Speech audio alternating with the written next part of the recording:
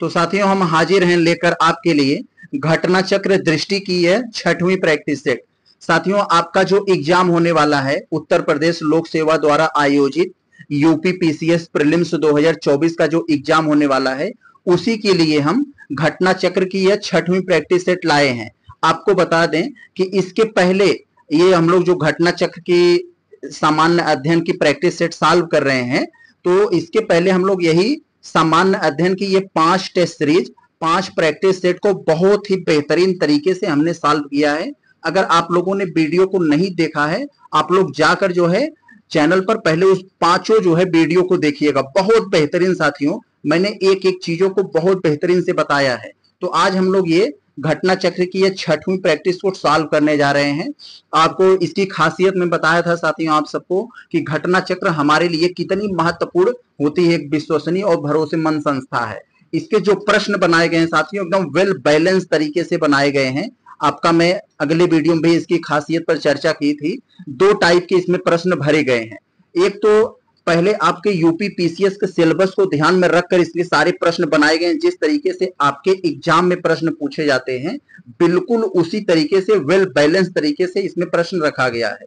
तो जो प्रश्न है, एक है, एक तो वो है, जो 10-20 साल में क्वेश्चन पूछे गए हैं विभिन्न आयोगों में, ऐसे प्रश्न जो हमेशा दौड़ते रहते हैं, जिनके आने की संभावना अधिक, एक तो ऐसे प्रश्न है, और दूसरे ऐसे प्रश्न रखा गया साथियों, जो करंट मुद्दों से जोड़कर आजकल जो प्रश्न पूछने का जो एक तरह से प्रचलन चला है कि करंट मुद्दों से जोड़कर जीएस को भी प्रश्न पूछा जाए। करंट का तो पूछता ही है, लेकिन करंट से जोड़कर जीएस के भी प्रश्न पूछे जाते हैं। तो वो करंट मुद्दों से जोड़कर, यही दो टाइप के प्रश्न इसमें भरे गए हैं साथियों। आप लोग वीडियो को लास्ट तक देखिएगा, क्योंकि साथियों आजकल जो है, बच्चों में ये जो शार्ट वीडियो देखते देखते उनकी पेशेंस कम होती जा रही है।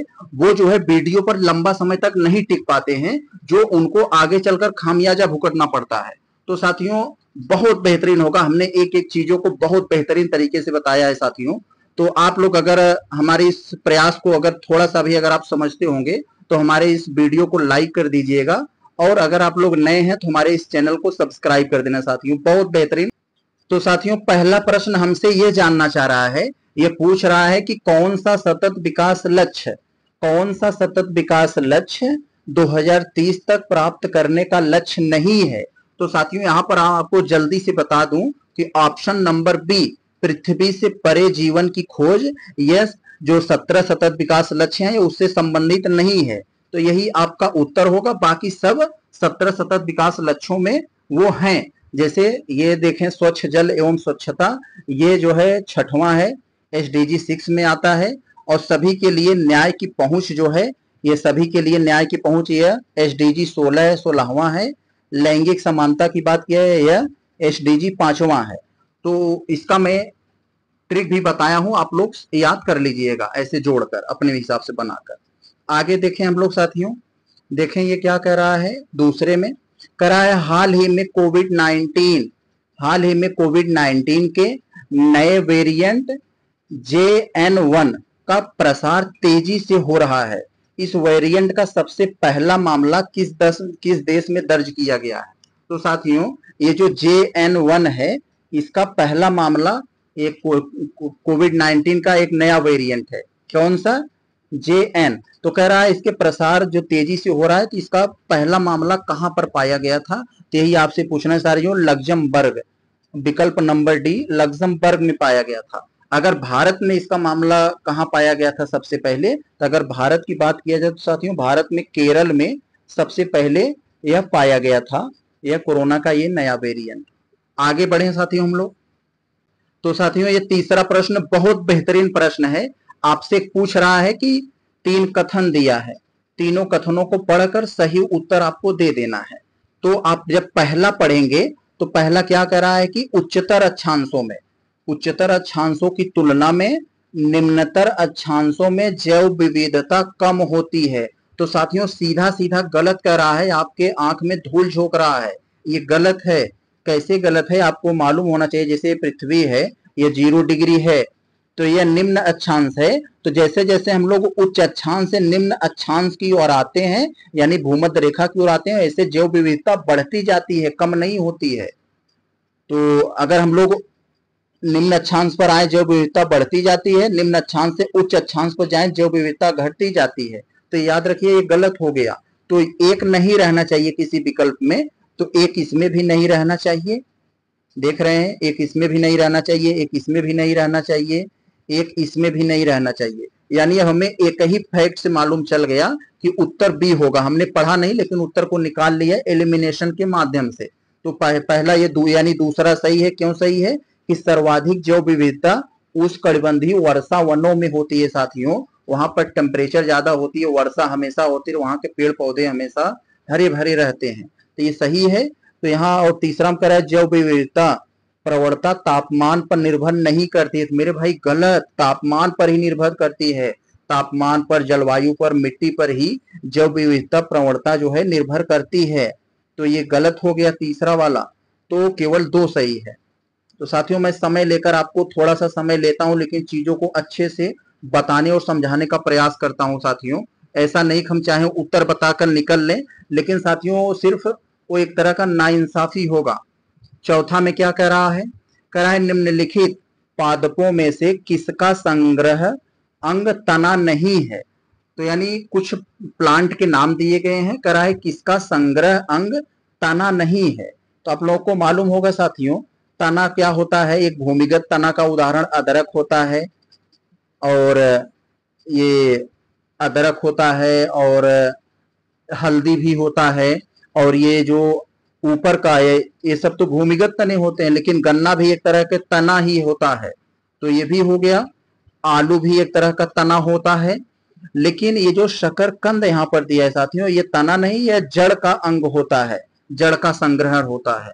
तो विकल्प डी हमारा उत्तर होगा। शकरकंद जो है, यह जो है, तना का अंग नहीं है, यह जड़ का है। आगे देखें हम लोग पाँचवें में।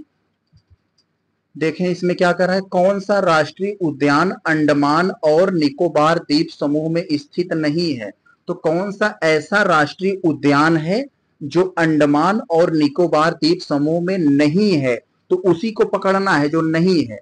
तो साथियों महात्मा गांधी समुद्री राष्ट्रीय उद्यान भी है अंडमान निकोबार में, सैडल पीक भी है राष्ट्रीय उद्यान अंडमान निकोबार में, रानी झांसी अंडमान निकोबार है, यहाँ पर रानी झांसी समुद्री राष्ट्रीय उद्यान है। तो कौन सा नहीं है? तो विकल्प नंबर डी तो यही हमारा डी उत्तर होगा। यही जो है अंडमान निकोबार द्वीप समूह में नहीं है। तो आप लोग सोच रहे होंगे साथियों तो ये कहाँ है? सिरोही राष्ट्रीय उद्यान, ये मणिपुर में है। कहाँ है? मणिपुर में। याद रखिएगा। तो मणिपुर में और यहाँ पर आप लोग अगर देखे वो पढ़े होंगे तो मणिपुर में एक और है जैसे केबुल लामजाओ राष्ट्रीय उद्यान। तो उसको भी याद कर लीजिएगा। आगे बढ़े हम लोग छठवें में। प्रश्न है, और मिलान वाले प्रश्न हमारे गलत नहीं होते हैं। थोड़ी सी ही जानकारी में हम उत्तर को निकाल कर लेके भाग सकते हैं। एक सूची में दिया है आपको विटामिन के नाम, और दूसरी सूची में दिया वो विटामिन किसमें पाए जाते हैं। तो साथियों, देखते हैं हम लोग। यहाँ जो सबसे पहले क्लियर हो, उसी को मिला दीजिए। तो हम सब बचपन से ही पढ़ते आए विटामिन सी खट्टे फलों में पाया जाता है, नींबू टाइप के फल में नींबू पाया जाता है। तो ये डी वाला जो है, दो पर आ गया। तो डी वाला दो पर आ गया। और एक चीज़ हम और लोग पढ़े हैं विटामिन के जो होता है अल्फ़ा अल्फ़ा ये अल्फ़ा अल्फ़ा से संबंधित है विटामिन के तो ये ए वाला चार पर चला आएगा। और विटामिन डी जो जो हमारा है साथियों, कॉड यकृत तेल। कॉड यकृत तेल इस पर चला आएगा अब हम लोग एक बचा है, उसका रास्ता तो सिर्फ़ ई वाले पर यही है। अब हम लोग देखें हमारा कौन सा उत्तर तैयार हो रहा है। कौन सा उत्तर तैयार हो रहा है साथियों? ए वाला हमारा चार पे आना चाहिए और बी वाला तीन पर। ये डी वाला उत्तर बन रहा है। तो डी वाला दो पर। बहुत बढ़िया। आगे चलते हैं हम लोग। सातवां में देखते हैं क्या कह रहा है। सातवां में साथियों हमसे कह रहा है कि कौन सा युग्म सही सुमेलित है? तो ऐसा कौन सा जोड़ा है जो सही है? तीन गलत हैं एक सही है उसी सही वाले को आप पकड़ लीजिए। तो पहला पकड़िए पहला पक, पढ़ेंगे तो क्या करें? काबरताल झील। काबरताल झील साथियों ये कहाँ पर है काबरताल झील? बिहार में है महाराष्ट्र में नहीं है तो ये गलत हो गया। तो हमसे सही पूछा है तो ये गलत हो गया सही नहीं हुआ काबरताल झील कहाँ है? यह बिहार में है। नंदा झील साथियों नंदा झील जो है कहाँ है हमारा? यह नंदा झील गोवा में है। कहा है? गोवा में। और कोलेरू झील साथियों कहाँ है? कोलेरू आंध्र प्रदेश में है। तमिलनाडु में नहीं है। ए एन डी में लिख दे रहा हूँ, आंध्र प्रदेश, समझ जाइएगा। और ये तीनों साथियों जब गलत हो गए तो आपको कॉन्फिडेंस हो गया होगा, जब ये तीनों गलत ही हैं तो मैं गलत क्यों थे मैंने बता दिया। तो सही यही वाला होगा, सस्थम कोटा झील कहाँ है? केरल में है। तो ये डी वाला हमारा सही है उत्तर। आगे बढ़े हम लोग आठवें में। देखते हैं साथियों, आठवें में हमसे क्या कह रहा है? बहुत बढ़िया कंसेप्चुअल टाइप के प्रश्न है ये। थोड़ा सा दिमाग लगाने वाला रटेंगे नहीं। तो आपको यहाँ पर एक मैंने थोड़ा सा बता दू लैंटिक आवास और एक दूसरा होता है लोटिक आवास लोटिक आवास तो लैंटिक आवास क्या होता है? जो ठहरा हुआ जल होता है उसे लोटी लोटिक लैंटिक आवास कहते हैं, जैसे तालाब हुआ, पोखरा, पोखरी, झील, ये सब का पानी बहता नहीं है, ठहरा रहता है तो इनको हम लोग लैंटिक आवास कहते हैं और लोटिक आवास क्या कहते हैं, जो पानी बहता रहता है, जैसे नदी हो गया, झरना हो गया, नहर हो गया, ये सब लोटिक तो लैंटिक करा यानी ठहरा हुआ तो लैंटिक के अंतर्गत नहीं आता है, इसका मतलब लोटिक के अंतर्गत आता है। उल्टा सोचिए अब लैंटिक के अंतर्गत नहीं है, यानी लोटिक के अंतर्गत है। तो कौन लोटिक के अंतर्गत है, यानी कौन बहता हुआ जल के अंतर्गत है तो बहता हुआ जल संध यहाँ साथियों, केवल ये नदी है। विकल्प सी हमारा उत्तर हो जाएगा, और बाकी ये सब जो है, लैंटिक में आते हैं, तालाब, आर्द्रभूमि, झील, ये सब लैंटिक आवास के अंतर्गत आते हैं। तो विकल्प सी हमारा उत्तर होगा। साथियों, थोड़ा सा समय देंगे तो आप बहुत कुछ सीख कर जाएँगे, आपको एक एक चीज़ क्लियर होगा। तो कह रहा है नौवे में कपड़ा मंत्रालय ने हाल ही में जूट किसानों की सुविधा के लिए कौन सा एप्लीकेशन लॉन्च किया है? तो साथियों पाट मित्रों नाम का एक एप्लीकेशन कपड़ा मंत्रालय ने यह जो है लॉन्च किया है, ये वाला। तो ये हमारा उत्तर सी हो जाएगा, कपड़ा मंत्रालय ने। तो और ये इसको बनाया किसने? भारतीय जूट निगम ने बनाया है। भारतीय जूट निगम ने ये पार्ट मित्रो एप्लीकेशन बनाया है। आगे चले हम लोग। देखते हैं हम लोग क्या कर रहा है, इसमें कह रहा है कि समुद्री घास, यानी समुद्री खरपतवार, समुद्री घास, समुद्री खरपतवार, निम्नलिखित तत्व का मुख्य महत्वपूर्ण स्रोत होता है। तो साथियों, समुद्री खरपतवार जो है, आयोडीन का मुख्य स्रोत होता है। विकल्प नंबर ए हमारा उत्तर हो जाएगा। आगे चले हम लोग। देख रहे हैं ग्यारहवें में हमें कंसेप्चुअल टाइप का प्रश्न दिया है, बहुत बढ़िया। कह रहा है, असत्य बताइए। कौन सा कथन असत्य है? उसी को बताइए, ध्यान दीजिएगा, असत्य पूछ रहा है। तो असत्य पूछ रहा है तो हॉट स्पॉट शब्द कह रहा है का प्रयोग वाल्टर जी रोसेन ने किया था। तो साथियों, गलत कह रहा है। हॉट स्पॉट शब्द का प्रयोग वाल्टर जी रोसेन नहीं करा है, नॉर्मन ने किया था। उनका नॉर्मन करके नाम है। तो उन्होंने इसका किया था। तो आप लोग इसको याद रखिएगा, नॉर्मन मायर्स। नॉर्मन मायर्स तो इसको याद रखिएगा, इन्होंने किया था। तो और जैव विविधता हॉट स्पॉट केवल उष्णकटिबंधीय प्रदेशों में पाए जाते हैं। नहीं साथियों उष्णकटिबंधीय के साथ साथ उपोष्णकटिबंधीय में भी पाए जाते हैं। तो ये भी गलत हो गया। तो दोनों के दोनों गलत हैं तो कह रहा है कौन सा असत्य है, यानी दोनों असत्य हैं। तो विकल्प नंबर हमारा क्या हो जाएगा ग्रहवे का? जो है, ए हो जाएगा, दोनों असत्य हैं। बहुत बढ़िया। आगे चलते हैं, हम लोग देखते हैं बारहवें में क्या कह रहा है आपसे। इसमें कह रहा है साथियों, सर्वाधिक वनावरण प्रतिशत वाला राज्य है। यानी सबसे प्रतिशत के मामले में पूछ रहा है, याद रखिएगा, प्रतिशत के मामले में, संख्या के मामले में नहीं पूछ रहा है। तो कह रहा है, सर्वाधिक वनावरण प्रतिशत वाला राज्य कहाँ है? वनावरण प्रतिशत वाला राज्य। तो साथियों, आप लोग को जान लीजिए सर्वाधिक वनावरण प्रतिशत वाला राज्य यहाँ पर हमारा जो उत्तर होगा, ये ये मिजोरम में होगा। विकल्प नंबर ए हो जाएगा हमारा तो मिजोरम में होगा। तो जो भारत वन स्थिति रिपोर्ट 2021 में आई थी, उसके अनुसार ये हम बात कर रहे हैं तो मिजोरम में चौरासी परसेंट होगा। अगर मिजोरम में पिछली वीडियो में आपको बताया था अरुणाचल प्रदेश होगा तो साथियों, अगर मिजोरम न रहता आप, मिजोरम न रहता, उसके बाद आप मेघालय को लगाते। मेघालय के बाद तीसरे नंबर पर आता है अरुणाचल प्रदेश। यानी मिजोरम, मेघालय न रहता तो अरुणाचल प्रदेश लगा देते। तो ये तो पहले नंबर पर ये आता है, सबसे ज़्यादा प्रतिशत यहाँ है, दूसरे नंबर पर ये मेघालय है, तीसरे नंबर चल अरुणाचल प्रदेश है। तो याद रखिएगा आप लोग। तो चलते हैं हम लोग तेरहवें क्वेश्चन पर। देखते हैं क्या है हमारा यहाँ। तो तेरह वाले में हमसे क्या पूछ रहा है? कह रहा है, कौन सा कथन सत्य है? तो सत्य कथन को पकड़कर हमें विकल्प में ओसी को लगा देना है। तो पहला आप जब पढ़ेंगे तो फाइटोप्लैंक्टन खाद्य श्रृंखला के प्राथमिक उत्पादक हैं। यस मेरे भाई, जैसे हम लोग स्थल पर घास, फूस, पेड़ पौधे प्राथमिक उत्पादक होते हैं सूर्य से, अपना जो है जो है भोजन प्राप्त करते हैं। ऐसे ही साथियों, समुद्र में जो फाइटोप्लैंक्टन होती हैं, ये प्राथमिक उत्पादक होते हैं। छोटी मछलियाँ इन्हें खाती हैं, छोटी मछलियों को बड़ी मछलियाँ खाती हैं, यानी फाइटोप्लैंक्टन प्राथमिक उत्पादक होते हैं। तो ये बात सत्य है। दूसरा अगर हम पढ़ते हैं तो फाइटोप्लैंक्टन अपना भोजन, प्रकाश संश्लेषण क्रिया द्वारा निर्मित नहीं करता है। नहीं, मेरे भाई, ये गलत हो गया। फाइटोप्लैंक्टन अपना भोजन प्रकाश संश्लेषण के माध्यम से ही करता है। तो ये गलत हो गया दूसरा। तो विकल्प हमारा केवल एक सही है। आगे देखें हम लोग चौदह में। चौदह में साथियों कह रहा है, भारत में सिक्कों की ढलाई कहाँ होती है? तो इसके लिए एक ट्रिक होता है साथियों हमारा। तो ट्रिक आप लोग जान लीजिए, पहले पहले जो था, ये मुंबई, कोलकाता, हैदराबाद में ढलाई होती थी, लेकिन बाद में ये नोएडा, उत्तर प्रदेश के नोएडा में भी खोला गया। तो इसका एक ट्रिक है आपके लिए, एम से मुंबई, के से कोलकाता, एच से हैदराबाद, ए से, एन से नोएडा। तो मक्खन तो ये मक्खन लिखा गया। तो मक्खन याद रखेंगे तो हमें याद हो जाएगा मक्खन में ये सिक्कों की ढलाई होती है और जहाँ सिक्कों की ढलाई होती है, उसे हम लोग टकसाल कहते हैं। टकसाल।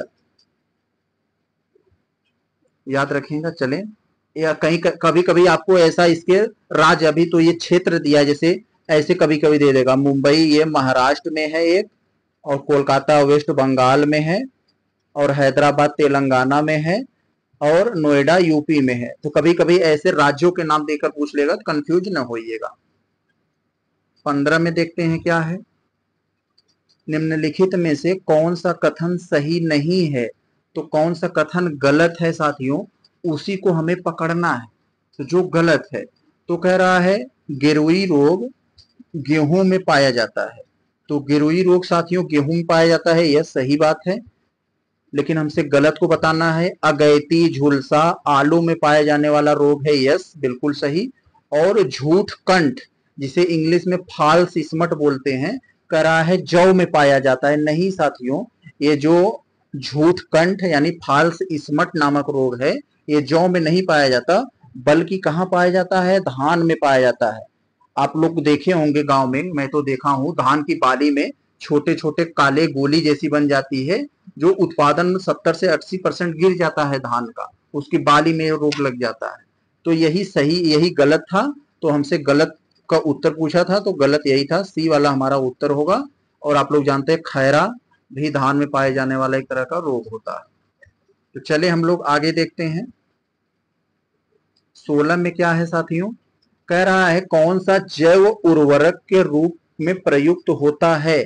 यहाँ पर कुछ आपको दिए हैं नाम तो उसी नाम में से पढ़कर बताना है, ऐसा कौन सा मतलब तत्व है जो जैव उर्वरक के रूप में प्रयोग होता है? तो आप लोग को जान लीजिए साथियों, यहाँ पर नीम, लेपित, यूरिया जो दिया है, ये जैव उर्वरक नहीं है, यह जो है एक रासायनिक उर्वरक है। आप लोग यूरिया खरीदते हैं तो उस पर लिखा रहता है नीम, लेपित यूरिया। तो रासायनिक यूरिया है, नीम, लेपित, इसलिए का नीम, लेपित यूरिया आ रहे हैं आजकल कि यो ज़्यादा पोषण प्राप्त होता है आपके जो है फ़सलों को, क्योंकि वो धीरे धीरे गलती है। तो चार गलत हो गया, चार नहीं होगा जो है तो यानी जिसमें चार होगा वो गलत हो जाएगा। इसमें चार है, ये गलत, ये चार है, इसमें गलत, ये। तो नॉस्टॉक भी जैव उर्वरक के रूप में प्रयोग होता है साइनो बैक्टीरिया एना बिना तो विकल्प नंबर हमारा सी हो जाएगा, यही सत्य है। आगे बढ़े हम लोग सत्रह में। सत्रह में साथियों, हमसे क्या पूछ रहा है, देख रहे हैं, बहुत बढ़िया सवाल है ये। कह रहा है कि doctor V Mohini Giri doctor V Mohini Giri जिनका हाल ही में निधन हो गया, उन्हीं के संदर्भ में कथनों पर विचार कीजिए। तो आप लोग जान लीजिए, डॉक्टर वी गिरी मोहिनी जो थी मोहिनी गिरी यह जो है, भारत के पूर्व राष्ट्रपति वी वी गिरी की पुत्र वधु यानी पतो थी ये। तो एक तो ये बात सही है तो इन्हीं कथनों पर हमें असत्य कथन को बताना है। लेकिन ये तो सत्य है, असत्य नहीं है। और पहला कह रहा है कि 1971 में वार बिडोज एसोसिएशन की स्थापना की थी ये ये भी बात सही है। और सी वाला कह रहा है कि ये राष्ट्रीय महिला आयोग की दूसरी महिला अध्यक्ष थी साथियों। यस, ये भी बात सही है 90 के दशक में। तो ये तीनों बातें सही हैं साथियों, इसका मतलब डी वाला गलत होगा। जब हम कंफर्म है हाँ ये तीनों सही हैं तो डी वाला ही गलत होगा।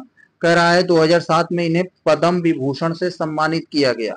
तो नहीं साथियों, पद्म भूषण से सम्मानित किया गया, पद्म विभूषण से नहीं तो ये गलत हो जाएगा। तो डी वाला हमारा सही उत्तर होगा। आगे चले हम लोग देखते हैं अठारह में। अठारह में साथियों हमसे क्या पूछ रहा है? देखें। अठारह में हमसे कह रहा है कि परिमाणात्मक साख नियंत्रण की विधि में शामिल क्या होता है? तो आप लोगों को मालूम है शाख नियंत्रण दो तरह के होते हैं साथियों। एक परिमाणात्मक शाख नियंत्रण, एक चयनात्मक शाख नियंत्रण।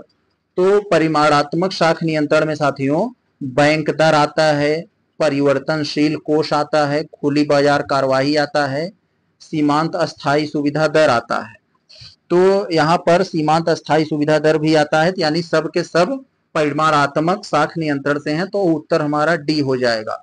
और चयनात्मक शाख नियंत्रण जो होते हैं, उनमें जैसे न्यूनतम सीमा, नैतिक दबाव, ये सब उसमें आते हैं। तो फ़िलहाल ये सभी के सभी परिमाणात्मक शाख नियंत्रण थे। आगे देखें हम लोग उन्नीस में। कह रहा है यूनेस्को द्वारा man and biosphere programme. UNESCO द्वारा मैन एंड बायोस्फीयर प्रोग्राम की शुरुआत कब हुई थी साथियों? तो 1971 में हुई थी। क्यों हुई थी? मानव और पर्यावरण के बीच संबंध सुधारने के लिए। तो अब विकल्प नंबर ए हो जाएगा 1971 में। 20 में देखते हैं साथियों, बहुत बढ़िया प्रश्न है। ये एक थोड़ा सा दिमाग लगाना पड़ेगा इसमें, आपको रटना नहीं पड़ेगा, सिर्फ़ दिमाग लगाना पड़ेगा। सोचो जरा, ये जो कथन दिए गए हैं, थोड़ा सा मैं इसको बड़ा करता हूँ तो आपको ज़्यादा समझ में आएगा। आपको ऑर्डर में सजाना है, सबसे पहले कौन हुआ, उसके बाद कौन हुआ तो जो सेट में दिखेगा वो जो सही रहेगा, उसी में लगाना है। तो दिमाग लगाइए थोड़ा सा अपनी बुद्धि का प्रयोग कीजिए। ये प्रारूप समिति की नियुक्ति तो आप लोग यहाँ सोच कर देखिए, सबसे पहले जो है, यह उद्देश्य, संविधान सभा में उद्देश्य का प्रस्ताव प्रस्तुत किया गया था नेहरू जी के द्वारा 13 दिसंबर 1946 को। आपको डेट नहीं मालूम होगा, लेकिन फिर भी यह मालूम होना चाहिए सबसे पहले उद्देश्य प्रस्ताव पेश किया गया था और उसके बाद प्रारूप समिति की जो है यह नियुक्ति हुई थी, प्रारूप समिति की। तो ये प्रारूप समिति वाला आ जाएगा। फिर आप लोगों को मालूम होगा, संविधान, भारतीय संविधान को अंगीकृत किया गया था, यानी बनाया गया था कब? 26 नवंबर उन्नीस सौ उनचास को संविधान बनकर तैयार हो गया था। और संविधान को प्रवृत्ति होने की तिथि, यानी लागू होने की तिथि, यह 26 जनवरी 1950 को हुआ था। तो ये सब चीज़ों को थोड़ा सा अगर याद रहे आपको तो इसका मतलब सबसे अंत में कौन हुआ था? संविधान यही लागू हुआ था 26 जनवरी 1950 तीन सबसे अंत में रहना चाहिए। तो तीन सबसे अंत में कहा है? यहाँ है यहाँ है। यानी उत्तर ये नहीं हो सकता, ये नहीं हो सकता। तो पहले नंबर पर कौन होगा? पहले नंबर में बताया ये चौथा होगा, क्योंकि सबसे पहले संविधान का उद्देश्य प्रस्ताव ही पेश किया गया था। तो चौथा पहले नंबर पर होगा, यानी उत्तर यही हो जाएगा हमारा ये वाला पहला। बहुत बढ़िया, इसी तरीके से आप भी उत्तर निकाला करिए। दिमाग लगा के थोड़ा सा। 21 वाले में हम लोग देखते हैं क्या है यहाँ। तो 21 वाले में साथियों, बहुत बढ़िया आजकल कथन कारण वाले सवाल मैचिंग वाले सवाल बहुत पूछे जा रहे हैं। कथन है, कारण है, पढ़कर हमें सही उत्तर देना है। तो कह रहा है, कार्बन मोनोऑक्साइड एक घातक वायु प्रदूषक है। यस मेरे भाई, बहुत घातक वायु प्रदूषक है। हमारे जो जो हीमोग्लोबिन है, उससे जो है ऑक्सीजन की तुलना में सैकड़ों गुना तेज़ी से ये जुड़ती है कार्बन मोनोऑक्साइड। जब जुड़ जाती है तो हमारा ऑक्सीजन बेचारा नहीं जुड़ पाता है, जिससे हमें जो है तरह तरह की बीमारियाँ होती है और मृत्यु हो जाती है। तो ये सही है कारण क्या करा है? कार्बन मोनोऑक्साइड आसानी से रक्त में घुल जाती है। वही बात जो मैंने भी बताया तो वही बात है। ऑक्सीजन तुलना में ये ज़्यादा अटैच हो जाती है। तो दोनों सही हैं और एक दूसरे से ये डिस्क्राइब भी कर रहे हैं। तो ऑप्शन नंबर ए हमारा हो जाएगा, यही सत्य है। बहुत बढ़िया। आगे चलते हैं हम लोग, देखते हैं बाईस में। बाईस में साथियों, यहाँ पर भी थोड़ा सा एक से बढ़कर एक प्रश्न है साथियों। वेल बैलेंस तरीके से बनाए गए हैं इसमें। बाईसों में करा है, कौन सा उत्सर्जन उसमी शक्ति संयंत्रों को में कोयला दहन से उत्सर्जित होती है? यानी आपको कुछ उत्सर्जन के नाम दिए गए हैं, कुछ उत्सर्जन है, और कह रहा है उष्मी शक्ति यानी थर्मल पावर, जो थर्मल पावर लगाए गए हैं, वह थर्मल पावर में जो कोयला जलाए जाते हैं तो उसके कोयला जलाने से क्या उत्सर्जित होता है? तो साथियों, आप लोग को मालूम होगा, कार्बन डाइऑक्साइड उत्सर्जित होती है सीओ ये नाइट्रोजन के ऑक्साइड उत्सर्जित होते हैं, सल्फ़र के ऑक्साइड उत्सर्जित होते हैं, सोडियम के ऑक्साइड यहाँ उपस्थित नहीं होते हैं। तो ये चौथा नहीं होगा तो चौथा जहाँ होगा उसे काट दीजिए, ये गलत हो जाएगा। तो इसका मतलब केवल एक, दो, तीन, डी वाला हमारा उत्तर होगा। आगे चले हम लोग, तेईस में देखते हैं। बहुत बढ़िया सवाल। क्या कर रहा है? एक सही सुमेलित नहीं है। कौन सा सही सुमेलित नहीं है साथियों? उसी को पकड़िए आप। तो अनुच्छेद जो है थर्टी नाइन, कुल एसपीडीपी से संबंधित जो अनुच्छेद दिए गए उसी से पूछ रहा है। तो आप लोगों को मालूम होगा एसपीडीपी के बारे में, भाग चार, अनुच्छेद 36 से इक्यावन तक। तो अनुच्छेद जो उनतालीस ए है, वो कहता है समान न्याय और निशुल्क विधिक सहायता के बारे में बात करता है। तो ये सत्य है, लेकिन हमें गलत को बताना है, अभी गलत नहीं मिला। अनुच्छेद 40 ग्राम पंचायतों के संगठन की बात करता है, ये भी सत्य है। और अनुच्छेद चौवालीस जो है, समान नागरिक संहिता की बात कर रहा है, यूनिफॉर्म सिविल कोड की बात कर रहा है, ये भी सही है। और जब ये तीनों सही है साथियों, गलत तो यही होगा, डी वाला, क्यों गलत है? अनुच्छेद 48 साथियों, यह न्यायपालिका और कार्यपालिका के पृथककरण से संबंधित नहीं है। तो न्यायपालिका का, कार्यपालिका से जो पृथककरण है, अनुच्छेद 50 में है। तो ये गलत हो गया हमारा। तो ये पशुपालन एवं कृषि से संबंधित है अड़तालीस वाली। तो याद रखिएगा आप लोग, चौबीस में हम लोग देखते हैं, चौबीस में हमारा क्या है? देखते हैं साथियों, बहुत बढ़िया मिलान वाले सवाल हैं, बहुत बेहतरीन। एक तरफ़ हमारे जैव मंडल रिज़र्व है, दूसरी तरफ़ उसका लोकेशन है। कौन सा जैव मंडल कहाँ पे है, उसी को मिला दीजिए आप। तो सबसे पहले आप लोग को जो क्लियर होगा, उसी को मिलाइए। पन्ना जो है, कहाँ है? मध्य प्रदेश में है, बहुत बढ़िया। और डिब्रू, आप लोग को मालूम है, डिब्रूगढ़ जो है, असम में है तो उसी से है, डिब्रू, सैखोवा, ये असम में है। और ये मन्नार की खाड़ी तमिलनाडु में है, आप लोगों को पता है। और अचान कमार अमरकंटक, ये छत्तीसगढ़ में है। तो इस हिसाब से हमारा उत्तर कौन सा बन रहा है, साथियों? आप लोग को अब यहाँ क्लियर हो गया होगा, कौन सा हमारा अब सेट यहाँ पर बन रहा है। देख लेते हैं हम उसको। ए वाला हमारा तीन पर जाना चाहिए। बी वाला चार पर जाना चाहिए। तो बी वाला चार पर जाना चाहिए, डी वाला एक पर आना चाहिए। तो बी होगा विकल्प, बी हमारा उत्तर होगा, ये वाला। तो बहुत बढ़िया। आगे चलते हैं हम लोग। पच्चीस में देखते हैं क्या कह रहा है। पच्चीसवें में साथियों हमसे पूछ रहा है कि विश्वसनीय प्रतिभूतियों से तात्पर्य ऐसे कंपनियों के शेयर से है जिनकी यानी विश्वसनीय प्रतिभूतियों से तात्पर्य। ऐसे कंपनियों से, ऐसे कंपनियों के शेयर से है जिनकी जिनकी साथियों, विस्तृत उत्पाद श्रृंखला हो, उच्च मैनेजमेंट हो, शेयर पर लगातार ऊँची दर का लाभ हो तो इन सभी यानी उत्तर हमारा डी हो जाएगा। इसका कहने का मतलब क्या करा जो प्रतिभूतियाँ होती गारंटी होती है, विश्वसनीय गारंटी से तात्पर्य किन कंपनियों के शेयर से होता है। तो जिनकी यह यह क्वालिटी होती है, उनसे यह होता है। तो यानी ऊपर के तीनों। 26 में क्या कह रहा है? मिस यूनिवर्स 2023 का खिताब जीतने वाली शेनीन पलासियोस किस देश से संबंधित है? तो सेनिन पलासियोस साथियों, मिस यूनिवर्स का खिताब जीती है 2023 का। तो आप लोगों को मालूम हो गया, ये मिस यूनिवर्स जो एक सुंदरता का कंपटीशन होता है तो जो सुंदरता का एक तरह से प्रदर्शन होता है, उसको खिताब मिलता है। तो ये कहाँ, किस देश से संबंधित है, वही आपसे यह पूछ रहा है। तो साथियों, जो प्रतियोगिता हुआ 2023 में, अल सलवाडोर में हुआ था। तो ये जो अल सलवाडोर दिया, यहाँ तो केवल प्रतियोगिता हुआ था, ये मिस यूनिवर्स का। लेकिन ये पूछ रहा है, जो जीती थी शेनिन पलासियोस, यह किस देश से संबंधित थी साथियों? तो यह निकारा गुआ से संबंधित थी। विकल्प नंबर हमारा ए हो जाएगा निकारा गुआ से। आगे देखें। सत्ताईस में क्या कह रहा है हमारे? तो साथियों, सत्ताईस में हमें कह रहा है कि उत्तर प्रदेश निम्नलिखित में से मुख्यतः किस ज़िले में रटौल आम का उच्च उत्पादन किया जाता है? तो रटौल आम का उत्पादन उत्तर प्रदेश में कहा किया जाता है? तो बागपत में विकल्प नंबर बी हो जाएगा हमारा बागपत में। बहुत बढ़िया साथियों, आगे चलते हैं हम लोग।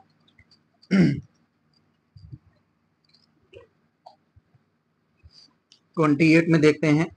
सॉरी देखते हैं ट्वेंटी एट में क्या कह रहा है। तो इसमें साथियों कह रहा है, कौन सा युग्म सही सुमेलित नहीं है? तो कौन सा सही सुमेलित नहीं है, उसी को पकड़ लीजिए आप। बस। चंद्र प्रभा वन्य जीव बिहार, चंदौली में है, नाम से ही लग रहा है, चंद्र प्रभा, चंदौली। ये चंदौली में है। और ये ये तो सही है, लेकिन हमें गलत को बताना है। कछुआ वन्यजीव बिहार वाराणसी में है, ये भी सही है। किशनपुर वन्यजीव बिहार साथियों, यह बहराइच में नहीं है लखीम लखमीपुर है। लक्ष्मीपुर खीरी, एल के में लिख दिया, एल के एच लक्ष्मीपुर खीरी तो यहाँ है। तो विकल्प सी गलत दिया था। तो यही गलत है, और बाकी सोहागी परवन जो बिहार जो है, महाराजगंज में है। महाराजगंज, बहुत अच्छा गाँव है ये, जिला। तो आगे चले हम लोग, ये उत्तर आपका सी होगा। ट्वेंटी एट हो गया ट्वेंटी नाइन हम लोग देखते हैं क्या है। तो ट्वेंटी नाइन में साथियों, दो सूची दिया है हमें। तो इन दोनों सूचियों में पहले में दिया है विषय और दूसरे में दिया है सूची। कौन किस विषय, कौन सा विषय किस सूची से है, उसको बताना है हमें। तो साथियों, यहाँ पर वन जो है, वो समवर्ती सूची से है। बी बिल्कुल सही बात है। शेयर बाज़ार जो है, वह शेयर बाज़ार हमारा कह रहा है डाकघर पहले तो यहाँ देखें, नीचे से देख कर आते हैं, नेट हो जाएगा हमारा। जन स्वास्थ्य जो है, राज्य सूची से संबंधित है, ये सही है। जन स्वास्थ्य हमारा राज्य सूची से संबंधित है।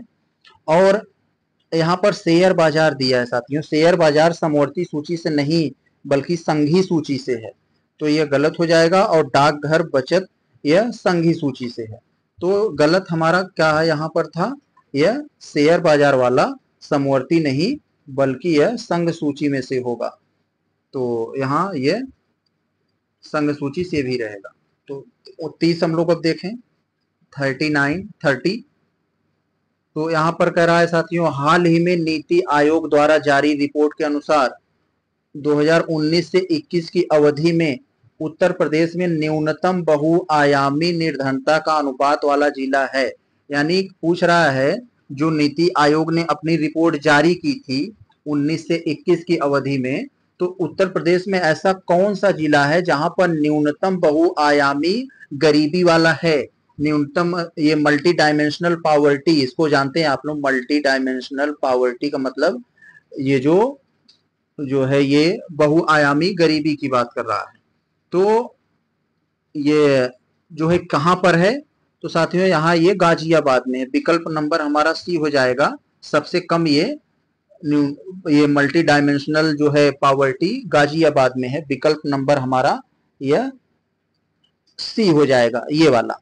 उसके बाद साथियों, आता है हमारा लखनऊ का क्रम। ये लखनऊ जो है, इसके बाद दूसरे नंबर पर आता है। और इसके बाद आता है हमारा कानपुर तीसरे नंबर का और चौथे नंबर पर है गौतम बुद्ध नगर। तो सारी चीज़ें मैंने बता दिया एक से लेकर चार तक। गाजियाबाद तो एक नंबर पर है ही। आगे देखें। इकतीस में साथियों कह रहा है कि श्री अन्न श्री अन्न का मतलब साथियों मोटा अनाज होता है, जैसे ज्वार, बाजरा, मक्का ये सब। श्री अन्न पर बने गीत, ए बन, ए बंडंस इन मिलेट्स मिलेट्स का मतलब ही इंग्लिश में ये मोटा अनाज होता है।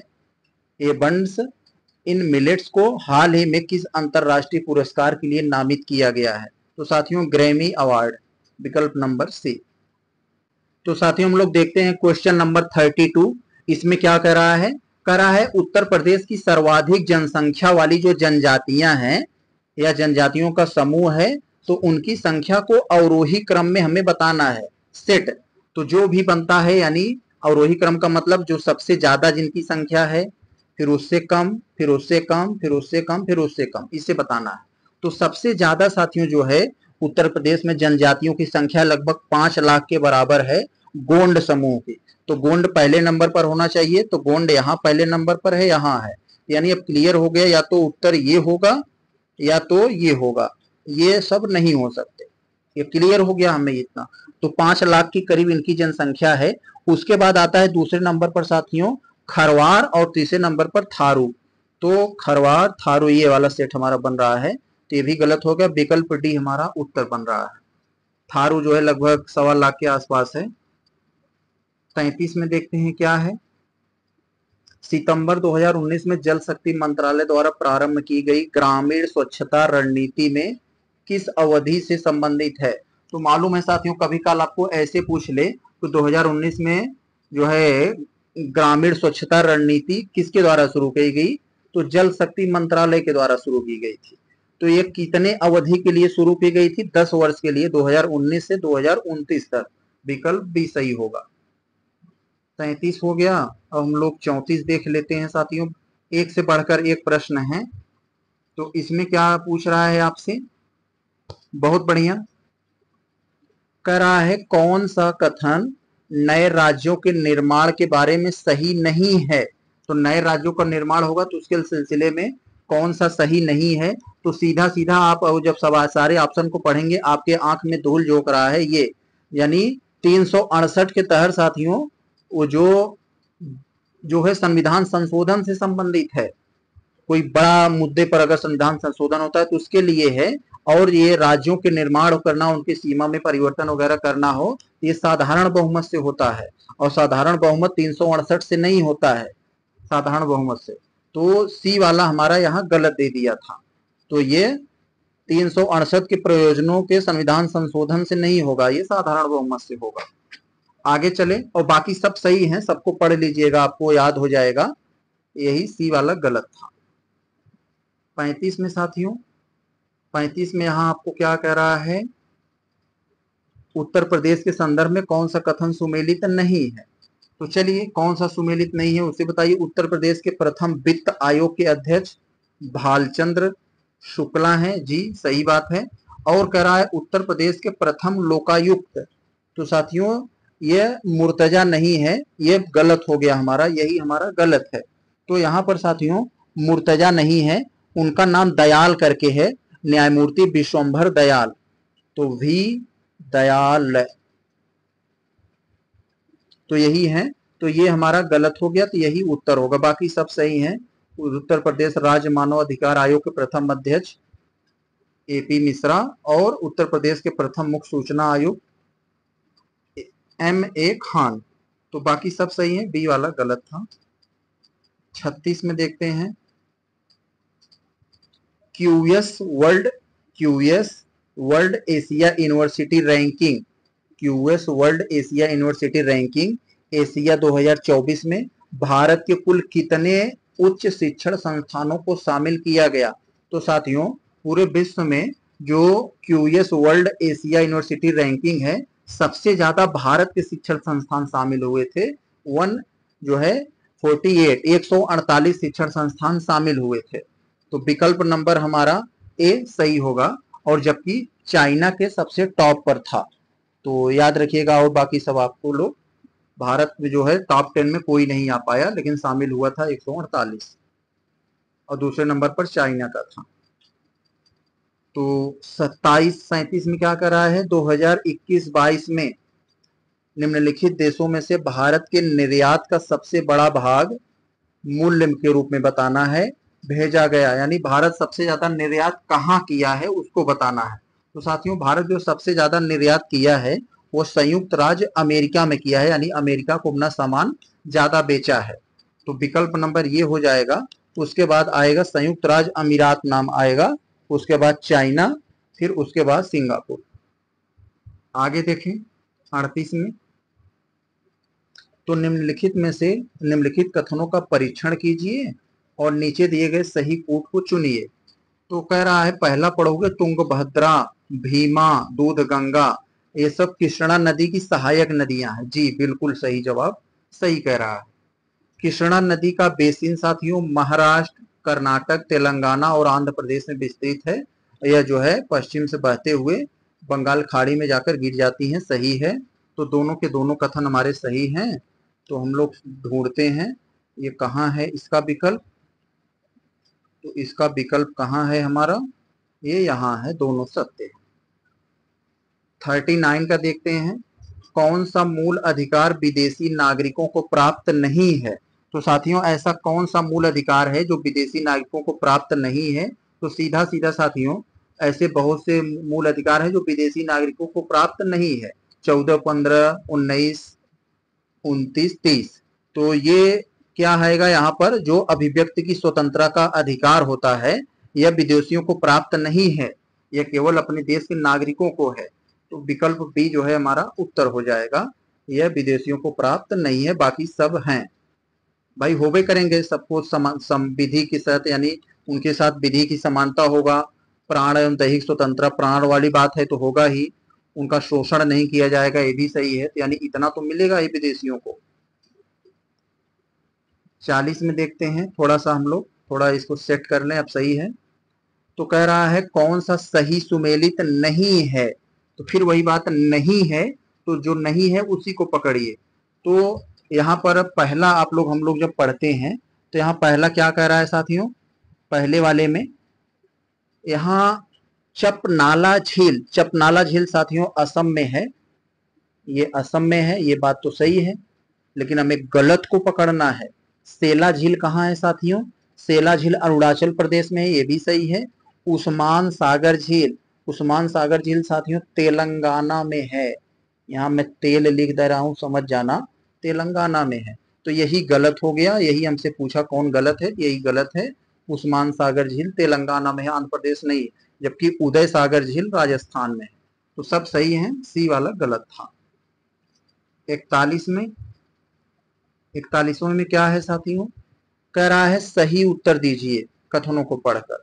तो सही उत्तर कैसे देंगे? भारत में संगमरमर का सर्वाधिक उत्पादक राज्य राजस्थान में है। यह सही बात है।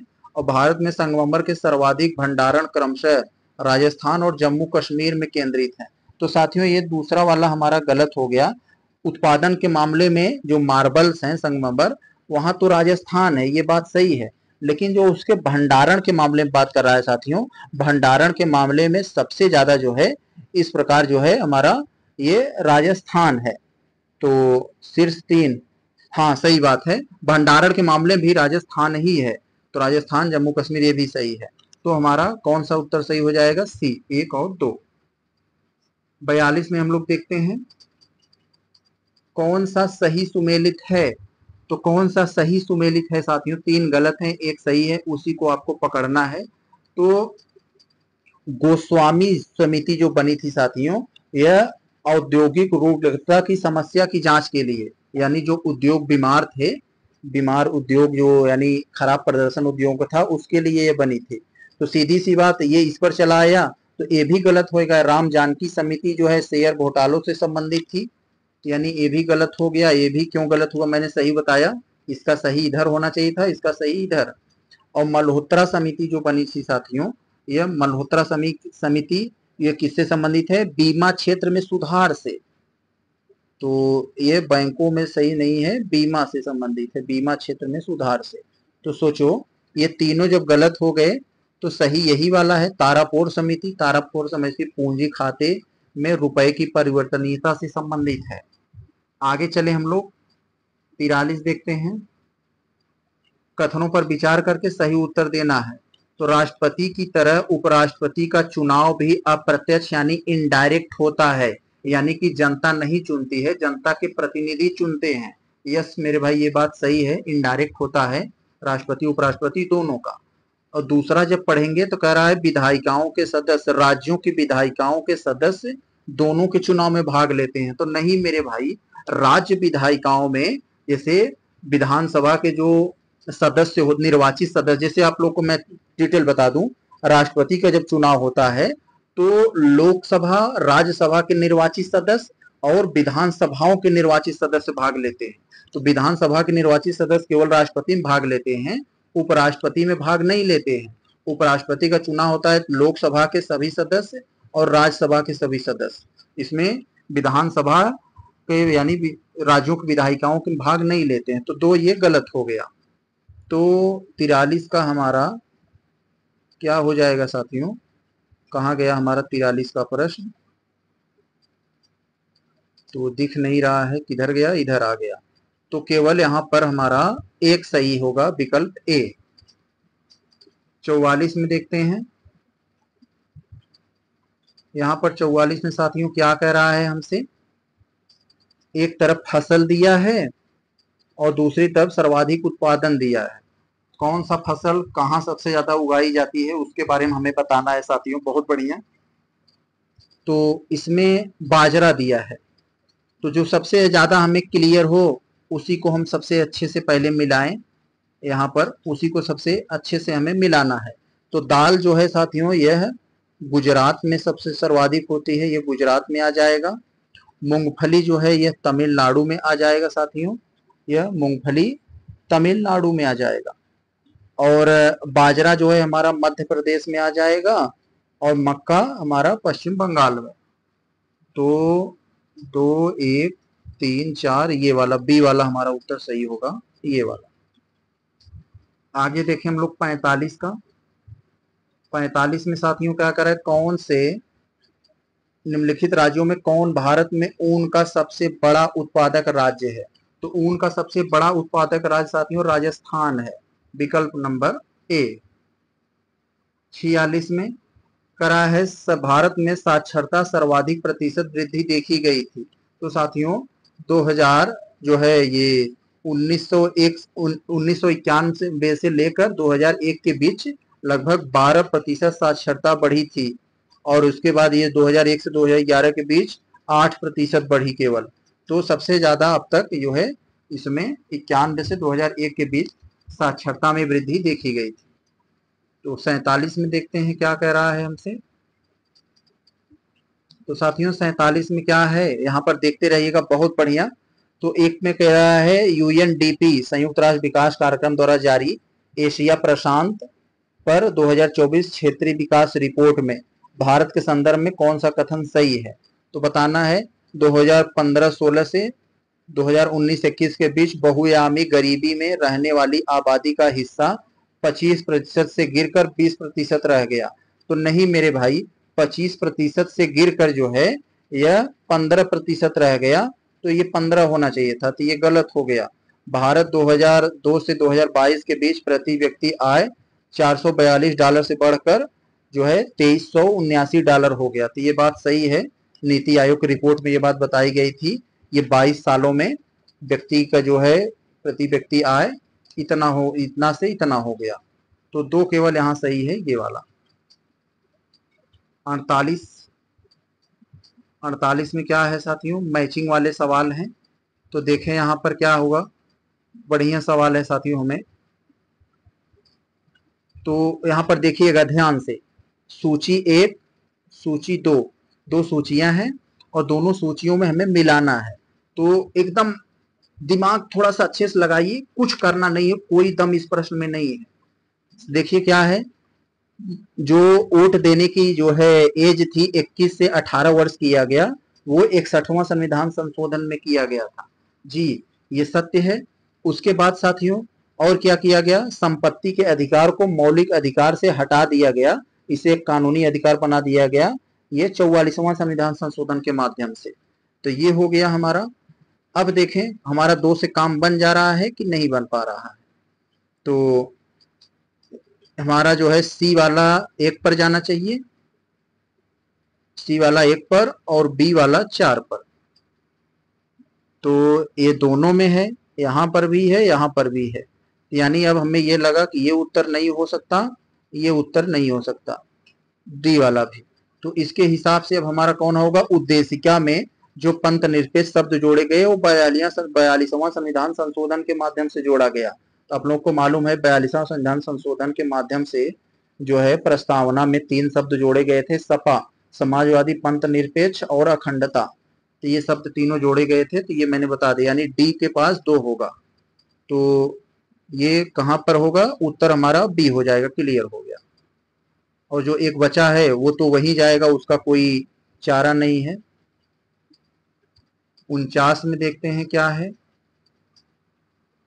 उनचास में साथियों, सही सुमेलित हैं। तो कौन सा युग्म हमारा सही सुमेलित है, उसको बताना है।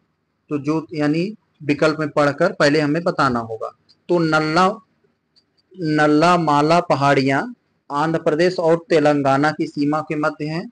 आंध्र प्रदेश एवं तेलंगाना के मध्य है, सही बात है। और अन्नामलाई पहाड़ियाँ केरल, तमिलनाडु के मध्य हैं। और नीलगिरी पहाड़ियाँ पूर्वी घाट और पश्चिमी घाट का मिलन स्थल पर है। ये तीनों के तीनों सही हैं। विकल्प हमारा सी हो जाएगा, उनचास का सी हो जाएगा हमारा उत्तर साथियों। बहुत बढ़िया।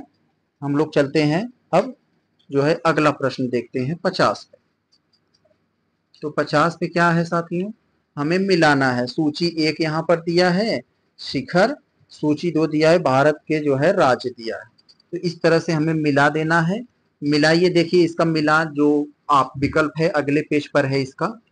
तो गुरु शिखर, हमें पता है साथियों, अरावली की पहाड़ियों की सबसे उच्च चोटी है गुरु शिखर, और अरावली की पहाड़ियाँ कहाँ है? राजस्थान में है। तो ये इस पर चला आएगा। और नंदा देवी कहाँ है साथियों? उत्तराखंड में है। और ये नंदा देवी जो है उत्तराखंड में है, कंचनजंगा सिक्किम में है, और गौर लाटा ये छत्तीसगढ़ में है। तो पचासवा मैं आपको एकदम अच्छे से मिला दिया हूँ। विकल्प आप जाकर देख लीजिएगा। सी डी सीधा सीधा है ए बी उल्टे हैं। तो विकल्प में आपको मैं दिखाता हूँ। तो हम लोग क्वेश्चन नंबर 56 देखते हैं, इसमें क्या है 56 वाले में। तो देखें, यहाँ पर हमें क्या दिया है 56 में? इसमें दिया है सूची एक। सूची एक दिया है वैष्णव मंदिर और मतलब इसमें, और दूसरा दिया है स्थान। तो इसी को हमें मिला देना है साथियों। बहुत बढ़िया। वैष्णव मंदिर और स्थान दिया है। इसी को मिलाइए। कैसे मिलाएँगे साथियों यहाँ पर? जो द्वारिकाधीश मंदिर है साथियों, द्वारका गुजरात में है। यहाँ पर ये इससे मिल जाएगा। विष्णु का जो है, ये दशावतार मंदिर जो है, उत्तर प्रदेश के देवगढ़ में है, ललितपुर में। तो ये यहाँ पर चला आएगा। जगन्नाथ मंदिर पूरी ओडिशा में है, विष्णु मंदिर एरण मध्य प्रदेश में है। तो तो हमारा कहाँ चला आएगा साथियों? ए आएगा दो पर बी आएगा एक पर। तो ये सी वाला उत्तर होगा सी आएगा चार पर डी डी पर, यही हमारा उत्तर हो जाएगा सी आगे चलें, सत्तावन का देखते हैं हम लोग। सत्तावन में क्या है? कौन सा कथन सही है? तो सही कौन सा कथन है साथियों, इसको बता दीजिए आप। तो बेसनगर, कौन सा कथन सही है, उसे पढ़कर हमें सही उत्तर देना है। तो बेसनगर के गरुड़ स्तंभ लेख से यह पता चलता है कि हेलियोडोरस ने भागवत धर्म ग्रहण किया था। तो साथियों, ये बात सही है। तो और यहाँ पर दूसरी बात जो कह रही है हमसे, सत्तावनवा में तो कह रहा है कि हेलियोडोरस साकल का निवासी था। तो नहीं साथियों, ये गलत है। तो उत्तर केवल हमारा ये कौन सा हो जाएगा? केवल एक, डी हो जाएगा। यह साकल का निवासी नहीं था। यह जो है, जो यवन का राजदूत था, यवन का था, साकल का नहीं था। आगे देखें, अट्ठावन का। तो जनगणना 2011 के हिसाब से सवाल पूछ रहा है आपसे, राज्यों में सर्वाधिक नगर राज्य हैं तो कहाँ पर सर्वाधिक नगर राज्य हैं? सबसे ज़्यादा जो है तो सबसे ज़्यादा मान, आपको मालूम होगा गोवा में है, लेकिन गोवा नहीं दिया है। अब क्या करेंगे सबसे ज़्यादा? तो गोवा में है, बासठ प्रतिशत शहरीकरण हो चुका है गोवा में, ये नहीं है। अब क्या करेंगे? तो गोवा नहीं है तो साथियों, मिजोरम में है। मिजोरम में। मिजोरम में है। मिजोरम में कितना है साथियों? लगभग बावन प्रतिशत शहरीकरण हो चुका है। तो यहाँ मिजोरम भी नहीं है। तो उसके बाद कौन सा होगा साथियों? मिजोरम नहीं है तो तमिलनाडु। अड़तालीस, यहाँ तमिलनाडु तीसरे नंबर पर है। तो यहाँ 48 प्रतिशत शहरीकरण है। तो यानी नगरीकृत। तो तमिलनाडु हो जाएगा हमारा पहला गोवा, दूसरा मिजोरम। ये सब थे नहीं तो तीसरा ही हमें लगाना पड़ेगा। क्योंकि तीन भाई आपको, चार भाई हो, ऊपर और ऊपर के दो नहीं है, नीचे के दो हैं तो जो उसके साथ रहेगा वही अपने आप को बड़ा कहेगा ना? ये थोड़ी ना कहेगा कि भैया हैं। फिफ्टी नाइन कर्क रेखा नहीं गुजरती है। कर्क रेखा किस देश से नहीं गुजरती है साथियों? आप लोग ये भी याद कर लीजिए, उत्तर प्रदेश से किन किन राज्यों से, उत्तर प्रदेश के किन किन राज्यों से गुजर सॉरी भारत के किन किन राज्यों से गुजरती है भी याद कर लीजिएगा। फ़िलहाल, यहाँ ईरान से नहीं गुजरती है, विकल्प नंबर सी। सऊदी अरब से गुजरती है, मिस्र से, भारत, म्यांमार, चाइना, चीन, तमाइन, पश्चिम बंगाल तो ये सब है, ईरान से नहीं गुजरती। तो साठ हम लोग देखते हैं। तो साठवां में हमसे क्या कह रहा है? दो सूची दिया है जैन तीर्थंकर और उनका प्रतीक चिन्ह दिया है। उसी को मिला दीजिए साथियों। बहुत बढ़िया। तो यहाँ पर अजीत नाथ साथियों, हाथी, इनका प्रतीक चिन्ह है। ये हो जाएगा। और ये पदम प्रभ जो है, ये कमल पे चला जाएगा। ये भी सही है। तो ए वाला हमारा दो पर, डी वाला तीन पर। तो हमारा ए उत्तर होगा। यही वाला उत्तर होगा हमारा और बी वाला हमारा एक पर चला आएगा। एक बचा है, ये डी पर चला आएगा सी वाला चार पर। चले हम लोग अगले प्रश्न पर इकसठ में। तो साथियों कह रहा है, इजराइल किसके साथ सीमा साझा करती है? तो इजराइल साथियों, लेबनान, सीरिया, जॉर्डन, मिस्र से सीमा साझा करती है, ये वाला हो जाएगा। बासठ में। तो साथियों, बासठ में देखते हैं हमारा फिर मैचिंग वाला सवाल है। एक तरफ़ हमें भारतीय नगर दिए हैं, दूसरी तरफ़ प्राचीन नाम दिया है। तो इसका हमें मिला देना है, मिलाकर जो सेट बन रहा है उसे बता देना है।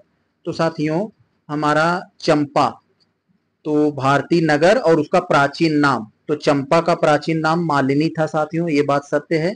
कन्नौज का नाम इसी से मिलता जुलता है कान्य कुब्ज ये है इसका, ये हो गया हमारा। और ये देखें, हमारा दो से काम बना, बी वाला एक पर, सी वाला चार पर। बी वाला एक पर, सी वाला चार पर तो दो जगह है ए और डी में तो इससे काम नहीं बनेगा।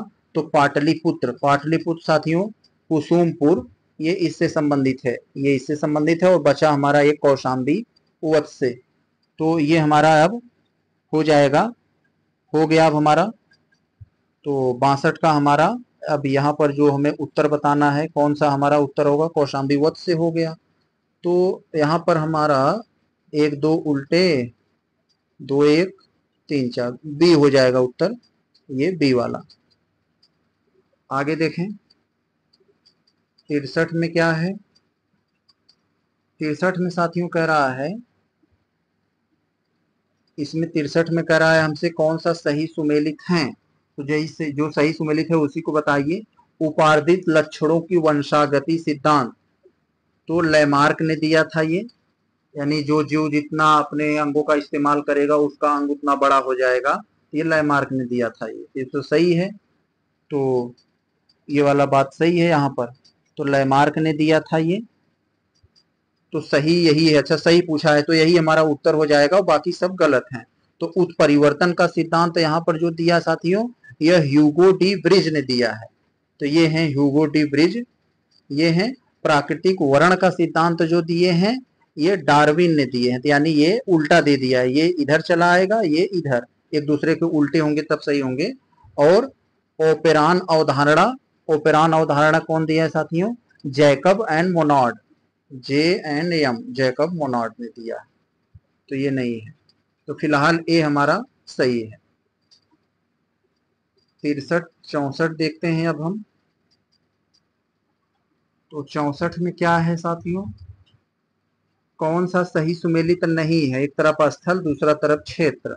तो साथियों, ये गेड्रोसिया बलूचिस्तान में है, अराकोसिया कंदहार में है, अरिया हिरात में है, और ये पारोप मिसादे लाहौर में नहीं है। तो यही हमारा डी वाला जो है, यह जो है गलत हो गया। तो यही डी वाला हमारा, ये कहाँ है? काबुल घाटी में है। काबुल घाटी। आगे चलें। पैंसठ में। पैंसठ में क्या है साथियों? कृषि वित्त प्रदान करने में योगदान के संदर्भ में 2021-22 के लिए आरोही क्रम है। आरोही क्रम पूछा है साथियों तो यही हमें बताना है आर यानी सबसे कम, फिर सबसे ज़्यादा सबसे ज़्यादा सबसे ज़्यादा, बढ़ते क्रम में। तो कृषि वित्त ऋण इसी को ध्यान में रखिए, नहीं तो गलत हो जाएगा। तो सबसे ज़्यादा ये जान लीजिए, जो ऋण दिया है वाणिज्यिक बैंक ने दिया है। तो वाणिज्यिक बैंक सबसे ज़्यादा होना चाहिए, कहाँ है वाणिज्यिक बैंक? तो ये केवल यहाँ पर है।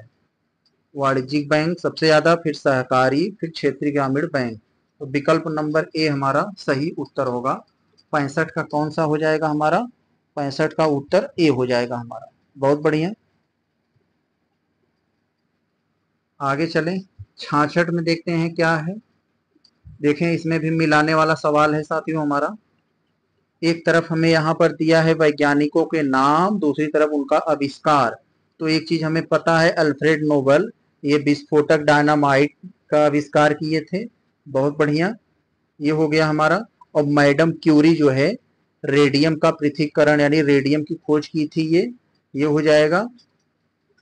और चार्ल्स डार्विन विकास का सिद्धांत दिए थे। तो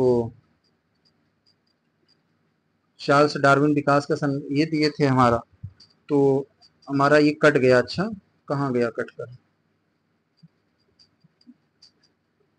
तो कहाँ गया? अच्छा ये यहाँ पर आया है सॉरी तो एक तरफ़ यहाँ वैज्ञानिकों के नाम था, दूसरी तरफ़ आविष्कार हुआ, क्या आविष्कार किए थे? तो मैडम क्यूरी रेडियम से संबंधित थी, ये अल्फ्रेड, ये डायनामाइट से और चार्ल्स डार्विन इससे और ये वाला इससे आ जाता है। तो ए हमारा दो पर, बी तीन पर, सी एक पर और डी चार पर। तो ये वाला, ये हमारा उत्तर होगा। बी वाला, उत्तर बी। आगे बढ़ें। सड़सठ में देखते हैं क्या है। सड़सठ में साथियों क्या कह रहा है हमसे? Sixty seven. मनुस्मृति के टीकाकार नहीं है। तो मनुस्मृति कोई टीकाकार नहीं है, साथियों, कौन नहीं है? तो एक कुल्लूक भट्ट है और एक मेघा तिथि है। तो तीन और चार नहीं है। तो डी नहीं होगा, यही नहीं। तो अड़सठ देखते हैं क्या है, साथियों। बहुत सिंपल सा प्रश्न है, बढ़िया सा प्रश्न है। एक तरफ़ दिया है हमें प्रमुख युद्ध दिया है और उसका वर्ष दिया है। मिला दीजिए। पानीपत का द्वितीय युद्ध, अकबर हेमू के बीच, छप्पन में पंद्रह कन्नौज का युद्ध, पंद्रह सौ चालीस, चौसा का युद्ध, उनतालीस, सरहिंद का युद्ध, इस पचपन। तो ये वाला हमारा हमारा ये सही होगा उत्तर, ए वाला। ये उत्तर हमारा सही है। आगे चलें। सिक्सटी नाइन सिक्सटी नाइन पर अगर हम लोग देखते हैं, एक तरफ़ उष्णकटिबंधीय चक्रवात दिया है, दूसरी तरफ़ जो है देश का नाम दिया गया है। तो विली विली जो उष्णकटिबंधीय चक्रवात है, ऑस्ट्रेलिया संबंधित है, हरिकेन यूएसए से संबंधित है, टाइफून चीन जापान से संबंधित है, और ये बागियो इससे संबंधित है। तो ये हमारा विकल्प बी हो जाएगा ये भी उत्तर। बहुत बढ़िया। आगे चलते हम लोग, सत्तर को देख लें। तो सत्तर को देखते हैं क्या मिलता है हमें? कौन सा कथन सही है? तो पहला दिया है बाबर नामा ने बा, बाबर नामा की रचना फारसी भाषा में की थी। नहीं मेरे भाई बाबर एकमात्र ऐसा शासक था तो जो अपना जीवन परिचय जो है तुर्की भाषा में लिखा है फारसी में नहीं लिखा है तो ये गलत हो गया। तो एक जहाँ होगा वो गलत हो जाएगा क्योंकि सही पूछा है तो सही में एक नहीं रहना चाहिए ये नहीं रहना चाहिए ये नहीं रहना चाहिए। और ये और जानते हैं जो राम मंदिर गिराकर बाबरी मस्जिद बनाया था, ये मीर बाकी ने, और मीर बाकी बाबर का जो है सेना नायक था। हुमायूं का नहीं, आप लोग सुनते होंगे, बाबर ने राम मंदिर गिरा दिया। तो बाबर का सेनापति ने गिराया था, वही मीर बाकी ने। तो ये चार भी नहीं रहना चाहिए विकल्प में। ये भी नहीं रहना चाहिए तो उत्तर हमारा केवल सी होगा। यानी दो और तीन। ये सही है, ये सही है। एक गलत है, चार गलत है। आगे देखें, हम लोग सत्तर हो गया। तो साथियों, सत्तर क्वेश्चन हो गया हमारा। अब हम लोग जो है, आधा हो गया, समय बहुत हो गया तो आधा बचा है सत्तर और अस्सी क्वेश्चन डेढ़ सौ प्रश्नों की ये टेस्ट सीरीज़ थी। तो सत्तर क्वेश्चन हमने सॉल्व कर लिया है।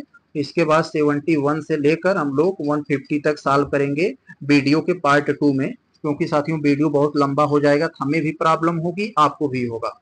तो साथियों, अच्छे से करेंगे, दो पार्ट में करेंगे जस्ट इसी के बाद अगला पार्ट आएगा। तो लोग मिलते हैं वीडियो के पार्ट टू में। तब तक के लिए नमस्कार, जय।